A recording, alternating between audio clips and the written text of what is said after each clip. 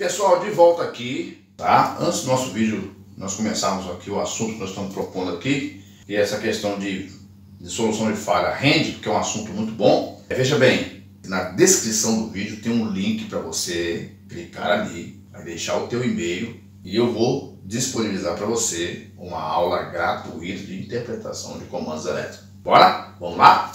Beleza então. Estou satisfeito de conseguir arrumar essa, esse parafernália todinho aqui para poder falar com vocês. Ó, beleza. No vídeo anterior nós falamos da descoberta da falha. Essa fase aqui, ó, do disjuntor caixa moldada de 200 amperes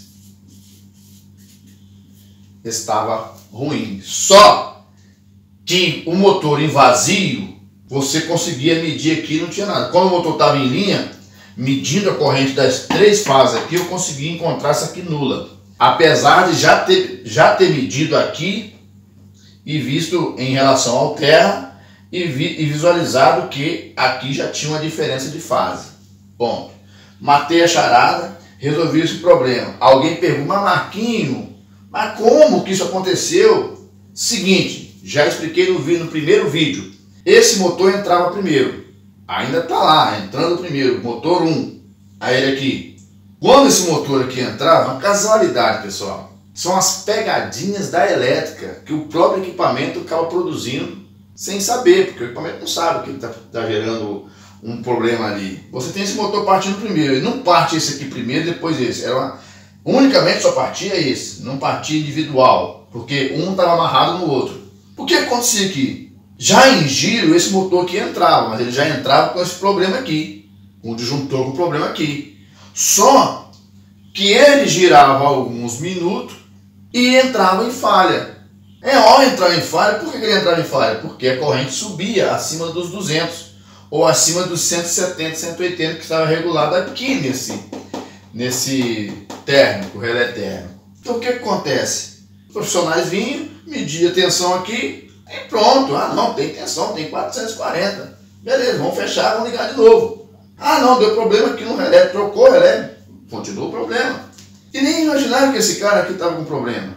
Então, analisando, eu já fui para lá pensando, poxa, os caras mediram isso, trocaram aquilo, não é nada, eu vou partir para outro pressuposto. Então vim, medi aqui, fase, fase, beleza, ok. Medi para a Terra, a fase C, um problema. Então, esse motor aqui ó, estava acoplado no mesmo eixo. Se ele está parado aí, que vem a discussão. Se o motor está parado, ele não partia. Um motor de 150 não parte com duas fases. Ele não partia, ele ia ter problema, certo? Agora, como o eixo já está conectado diretamente pelo acoplamento, um e o outro, então esse motor que carregava de lá. Ao carregar o de lá, quando ele entrava, ele não fazia tanto esforço para partir. Então ele partia normal. Só que depois de um período, o relé térmico percebi que tinha uma corrente acima da corrente regulada. regulada. Então o relé entrava em falha. Entendeu, pessoal? Então, esse é um, é um problema muito comum que acontece em equipamentos que funcionam dessa forma. Então, a questão da paciência e do, e do raciocínio crítico precisa prevalecer. Uma das coisas que é importante é quando o técnico, eletricista, seja na área industrial que nós estamos falando, quando ele for resolver uma falha, ele precisa ter paciência pelo menos de, 10, de 15 a 30 minutos aguardando no local. Ele não pode simplesmente rearmar aqui e virar as costas e ir embora. Às vezes eu, eu, eu sou chamado para ir em lugares e o camarada foi três vezes. Ah não, fulano vem aqui, arma aqui, vira as costas, vai embora, funciona, daqui a pouco desarma, até, até chamar de novo, outro problema. Então, já, em situações assim, eu aconselho o colega que é técnico, não tem nada com a tua vida, espera um pouco, aguarda um pouco. Outra coisa também, essa aqui é uma falha casual, o que é casual? Acontece lá uma vez ou outra. Olha só, essa falha aconteceu aqui, preste atenção. Essa falha aconteceu aqui 17 anos depois que instalaram esse disjuntor aqui. Esse disjuntor estava no painel da montagem. Foi montado esse painel, foi montado em 2002. Então esse disjuntor saiu em 2000 2002 para 2019. É recente. Esse painel, esse disjuntor ficou 17 anos lá. Então não é uma falha que acontece todo dia. Pode acontecer, não nesse equipamento, Aqui levou 17 anos. Não é uma falha. Só que aqui eu estou falando do disjuntor de um motor pesado. Há lugares que tem disjuntores que dão essa falha também, que não é o mesmo equipamento. Então, necessário olhar isso. Beleza, pessoal? Outra pegadinha que o pessoal também tem, que eu queria até desmanchar o desenho, mas não vou desmanchar não. É se tiver aqui, ó, por exemplo, é, exemplo, se você tem aqui para alimentar esse, esses contatores, aqui, ó, ah, ó, contator aqui, ó, tá? Tá bom? O contator tá aqui, ó, ó. Vou desenhar um desenho doidão aqui, tá? O contator aqui. Digamos que você tem um trafo aqui, ó, ó, tá? Ó, tá certo? Que entra 440, duas fases, e sai 220 volts aqui, ó. Outra pegadinha, se esse camarada é alimentado numa proteção por cima e tiver, já aconteceu isso, numa máquina que tinha apenas um motor, e vou apago essa aqui, ó, né, para ficar fácil a compreensão, ó, e não é um negócio 100% não, ficou manchado. Beleza? Ó, tá aqui o transformador. Geralmente, o que acontece com esse transformador?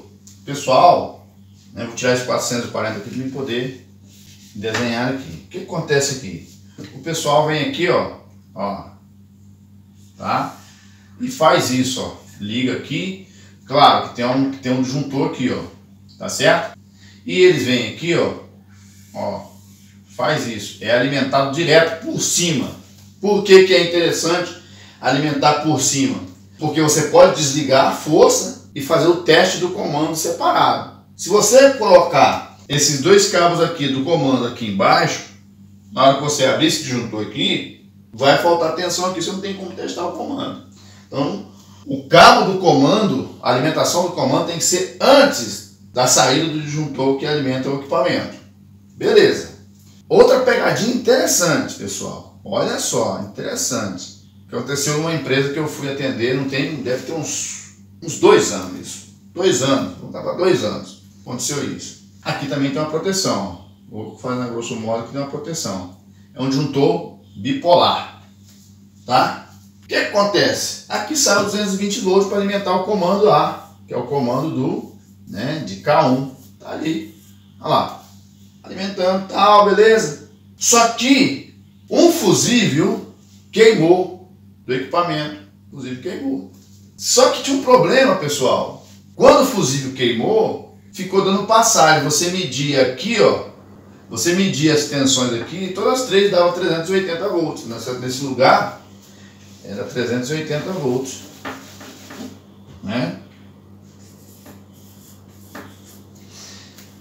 E se medir que as três fases dava os 380 volts. Eu, e olha que na empresa tinha um profissional. Marquinhos, o profissional tal tá, mandou te chamar aqui, telefone, porque ele já mediu tudo, está dando 380, mas o equipamento não gira. Ele podia ser manhoso, olha só. Ele podia ser manhoso, ele podia, era sessionador de fusível. Ele podia matar a charada, não era, não era o, aqui ó, era um sessionador de fusível. Aqui, ó. Ele poderia ter pensado, poxa, vou, vou tirar o fusível. Tira o fusível fora, pã, pega a ponteira, mede. Ver se o fusível está dando passagem, medindo a corrente, botando em continuidade. Ele podia ter feito isso, mas ele não fez. Não quero aqui tecer crítica, mas ele não fez, tá? Aí o que acontece? Um desses fusíveis estava aberto. Só que por coincidência desse fusível estar aberto, a ligação não estava aqui em cima, conforme deveria estar. Ela estava embaixo. Perdão, estava em cima mesmo. Não dá certo não, porque estava dando passagem. Certo? Perdão, estava em cima. Só que acontece? Quando ele, ele media aqui, aqui, aqui, estava dando os, os 400 volts. Por quê? Aquela tensão que estava faltando nessa fase aqui, digamos, ela estava retornando em algum lugar e voltando aqui, porque estava no tráfego. Aí estava dando tensão, 300 ele a 380. Beleza. Só que o equipamento não funcionava. Então tinha um fusível em aberto. Como que eu, que eu, que eu falei com esse meu filho? Vamos fazer o seguinte, vamos matar a charada, vamos desligar esse disjuntor bipolar aqui, ó. Que era o tráfego. Desligou, pum, agora mede aqui, vê se tem tensão. Eu não fiz nada, só dei orientação. Desliga aqui, desliga o disjuntor de alimentação do tráfego, porque ele está dando retorno. Ele desligou, pam, agora mede embaixo. Ele mediu, pai, que lasqueira, rapaz. Você é terrível? Não, não é que eu sou terrível, é questão de você raciocinar. Se você tem um, um, um equipamento desse, ligado em linha, em algum momento, em alguma situação ele vai dar retorno. Então estava dando um retorno e dando uma tensão falsa para ele. Isso em relação a uma tensão eficaz. Fechava ali, não ligava, desarmava. Tirei o fuzil, fuzil queimado. Pode olhar que esse fuzil nessa face está queimado. Pum, queimado. Beleza? Matou a charada. Aí o que, que acontece? Deve ficar muito atento a isso. Atento nisso. Painéis que tenha esse tipo de transformador aqui, você deve ficar sempre atento. Na hora que você fazer faltar fase, você deve abrir o disjuntor bipolar que alimenta o transformador. Porque aí você não vai ter problema. Você abre só para você fazer a, a, medir com as ponteiras. Se está batendo ou não. Se você tiver dúvida, olha, olha que eu estou dando ouro para você.